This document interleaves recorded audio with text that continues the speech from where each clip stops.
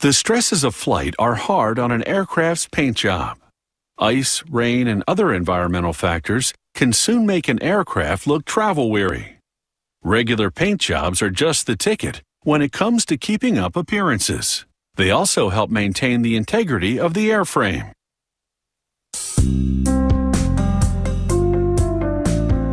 Problems may lurk beneath the old paint of an aircraft. Stripping it off can expose weaknesses in the aluminum skin. They brush on a powerful chemical solution. The paint bubbles off, baring the aluminum and any small holes or dents in it. They seal the windows and doors and wrap sensitive components like antennas to protect them during stripping and repainting.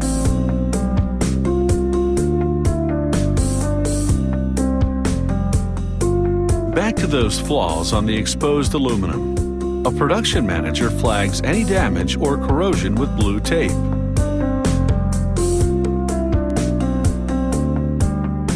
A technician then mixes a two-part aerodynamic filler.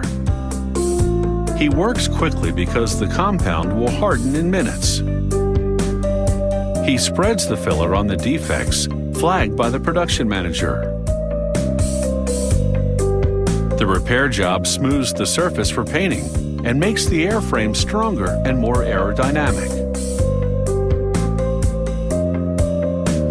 This aircraft has been primed and sanded. Now technicians blow off all the dust.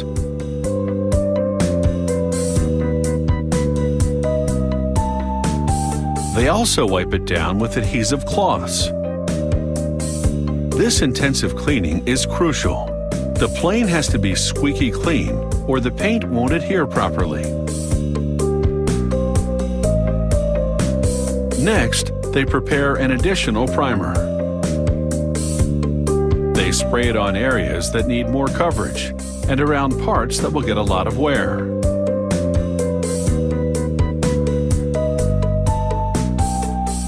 They then mix polyurethane paint with various catalysts and activators. It's a special aircraft blend. Jets can be jumbo-sized, of course, so they often prep and paint a section at a time, sometimes on different days. They're now working on the fuselage and tail. Respirators and full body gear protect them from the hazardous fumes as they work from the top of the aircraft down. A warm, low humidity environment is essential to allow the paint to cure properly. And they'll adjust the paint formula to compensate when conditions aren't optimal. An aircraft usually gets two to three coats resulting in a high gloss finish.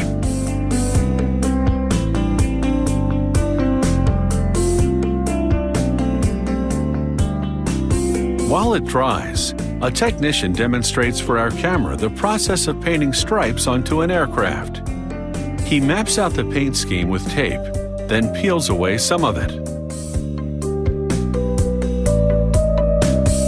He spray paints the exposed sections. He peels off more tape and then covers the freshly painted stripes with protective paper, so he can spray another color onto the plane. He pulls back the final pieces of tape, and this job passes with flying colors.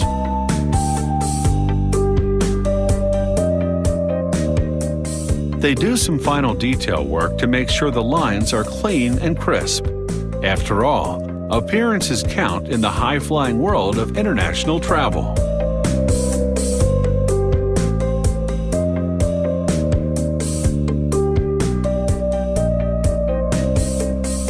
Even very tiny imperfections won't be tolerated.